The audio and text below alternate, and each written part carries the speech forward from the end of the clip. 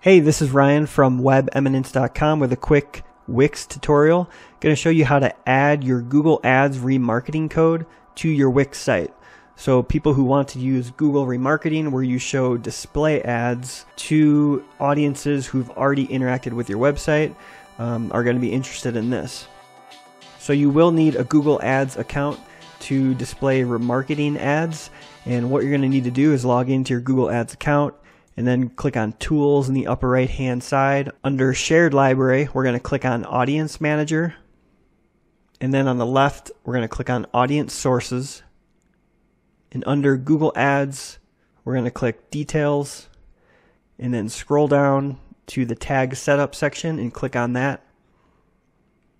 So what we're looking for in here is the global site tag and all we need is this number here. So you should be able to select it there and just right click and click copy. Make sure you got all the numbers there and none of the symbols before or after.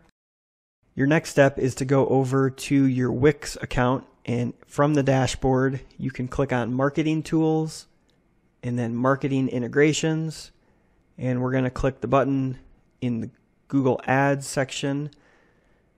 It's going to load some instructions here which I'm going through now and then click connect Google Ads in the top right and just paste in that number.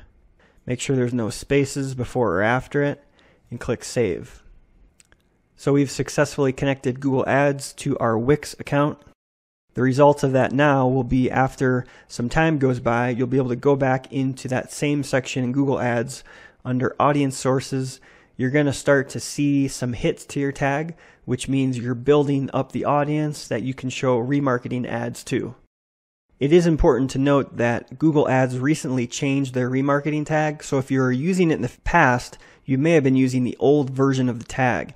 And while they say the old version will continue to work, you're probably going to still want to update to the latest version, which uses the Google Global Site tag.